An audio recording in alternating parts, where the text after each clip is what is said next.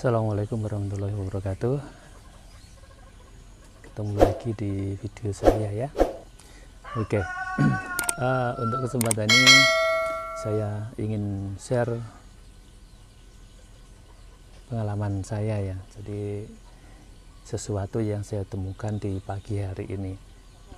Jadi Ini Kebetulan saja uh, Saya mengamati tanaman saya. Nah kemudian di sini kok ada yang menarik untuk dibagikan ya. Jadi saya bagikan di sini agar nanti uh, ini juga menjadi uh, masukan bagi sahabat hidroponik untuk uh, ingin mengembangkan berhidroponik khususnya untuk pemula ya.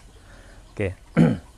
Jadi di sini saya punya uh, tanaman pakcoy ya. Jadi sawi pakcoy di mana untuk uh, usianya ini sekitar 25 harian ya. Kemudian saya tanam di dua tempat di dua media atau instalasinya ya.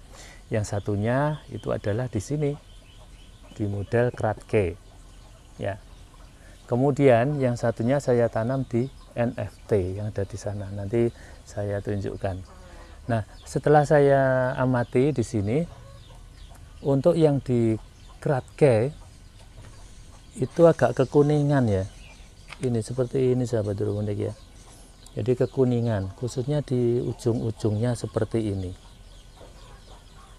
Ya hampir semua hampir semua. Nah kemudian uh, untuk yang di NFT sana itu cenderung lebih hijau ya. Nah kemudian juga besarnya pertumbuhannya itu di Kratge itu lebih lambat daripada yang di NFT yang ada di sana. Nah, setelah saya analisa ya, jadi saya amati, kemudian saya eh, apa cari permasalahannya. Itu ada beberapa kemungkinan, tapi akhirnya merujuk pada satu um, yang uh, apa yang saya saya simpulkan bahwa itu adalah penyebabnya.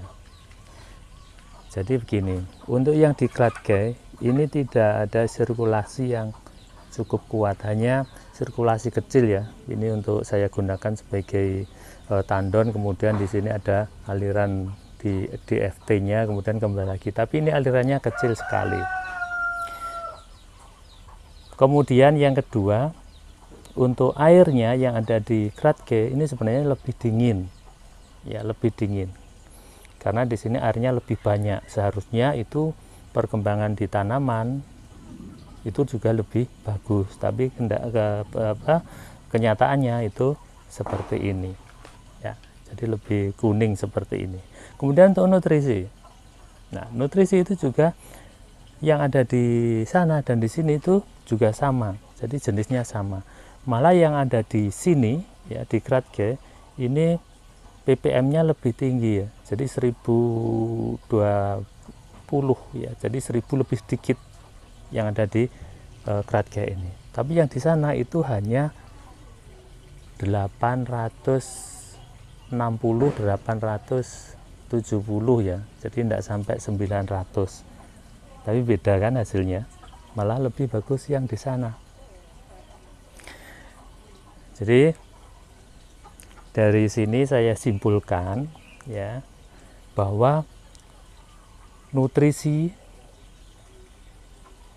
kemudian suhu airnya ya itu belum menjamin bagus atau tidaknya untuk tanaman ya jadi walaupun mungkin suhunya lebih dingin, kemudian nutrisinya lebih banyak, itu belum tentu menjamin untuk uh, tanaman itu bisa lebih bagus. Sebelum saya menjelaskan uh, yang lain, saya tunjukkan ya yang ada di sana. Jadi seperti ini. Untuk yang ada di Bratke. Kemudian Bentar. Nah, ini. Lebih seger-seger ya di NFT. hampir semuanya eh, ini lebih bagus daripada yang ada di sana tadi ya. Jadi lebih gemuk-gemuk juga ya. Lebih bantat lebih montok ya. Walaupun di sini untuk alirannya airnya itu juga tidak terlalu besar. Malah ini malah kecil kadang-kadang tersumbat ini ya. Kendalanya di apa eh, selang seperti ini kadang tersumbat. Jadi ini kecil jalur alirannya malah kecil. Airnya tidak banyak yang mengalir. Berbeda dengan sebelahnya ini ini dua dua dua selang ya ini hanya satu. Nah ini lebih bagus. Nah dari kejadian ini saya simpulkan bahwa tanaman itu akan lebih bagus pada aliran air yang mengalir. Jadi eh, medianya itu air mengalir bukan air diam. Nah, di air air mengalir, aduh tuh geli. Nah, di air mengalir itu kandungan oksigen itu lebih banyak daripada di air yang diam. Ya. Jadi airnya itu selalu ada sirkulasi sehingga dia membawa e, kandungan oksigen lebih banyak daripada air yang hanya menggenang saja ya. Jadi e, itu ya yang bisa saya simpulkan bahwa hal yang sangat penting dan mungkin ini terlupakan oleh e, sahabat hidroponik khususnya bagi pemula itu adalah oksigen larut dalam air. Itu sangat menentukan sekali pertumbuhan tanaman. Nah, kemudian solusinya seperti apa? Kalau kita sudah menggunakan kerat gas seperti ini, ya jangan di apa? dirubah menjadi NFT seperti itu. Ya kita manfaatkan aja ini dengan cara apa? Kita menambahkan aerator. Ya, menambahkan aerator yang bisa kita uh, terapkan pada instalasi ini. Itu mungkin uh, cara yang paling uh, efektif ya. Jadi penambahan. Jadi kita tidak perlu membongkar um, instalasinya, tapi menambahkan satu alat itu dengan menambahkan biaya sedikit. Harapan kita nanti uh, hasil dari tanaman kita di Kratke itu akan lebih bagus. Nah sebenarnya akarnya juga bagus, tidak ada yang busuk ya, jadi sehat juga. Tapi ya karena itu tadi eh, kandungan oksigen yang ada di air ini kurang cukup, ya jadi tidak cukup maka eh, dampaknya juga di perkembangan dari tanaman. Baik, eh, itu ya sahabat hidroponik yang bisa saya bagikan ini berdasarkan pengalaman saya ya. Kalau misalkan eh, sahabat Turbuni punya pendapat lain dan sudah eh, menganalisa dan mengalami seperti ini juga silahkan dituliskan di komentar ya. Jadi kita saling berbagi sehingga nanti bisa eh, memperkaya pengetahuan kita bersama dan maju bersama.